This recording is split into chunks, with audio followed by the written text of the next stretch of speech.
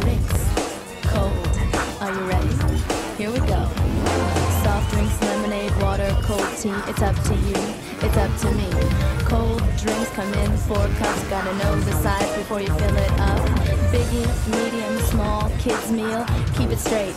It's a good deal. Use the scoop to fill with ice. Never use the cup. Take my advice. For soft drinks, fill the ice halfway. No matter the size, that's what I say. Tilt the cup and push against the lever. Keeps the foam down now, isn't that clever? If there's still foam, let it settle down. Don't pour it off, or your boss will frown. When you reach a quarter inch from the top, that's where you wanna stop. If the customers say they wanna stay, put the drink on the left-hand side of the tray. If the order's to go, put the lid on tight. Make sure it pops to do it right. Then hand that drink to the coordinator and tell the guest you'll see him later. Don't forget to smile when you serve cold drinks. Always say thank you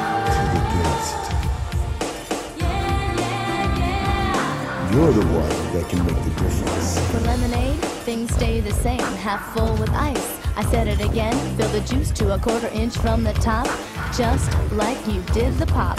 Water is a courtesy to our guests. Use a small cup, you know the rest. Now it's time to serve cold tea, but the ice is different. Listen carefully. Instead of half full, fill it all the way up to the top of the cup. Add the tea, and if they ask for a lemon, put it here. Now that's a given. Cold drinks, that's all there is to it. Go ahead and try. I know you can do it.